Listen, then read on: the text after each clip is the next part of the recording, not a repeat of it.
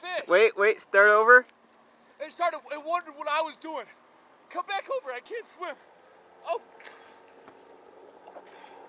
You gotta swim to me. No, tell me the story. There's a lot of them. I'm not. This is scary, man. I touched the fish with this hand.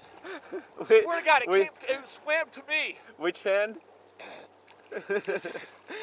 It swam to me, and I was like, "What?" And he was like, "What?" And I was like, "What? What?" And then I, I touched him because he got close, and then he turned around, but he didn't. He's not afraid of me. He's like, he's he's curious of me too. I bet you he's like, he touched me. I touched the fish with my, I touched the human with my fin. I was down deep. I forgot how deep I was going. And the fish was like, hey, what's up, man? Kind of in my territory. Dude, they're everywhere.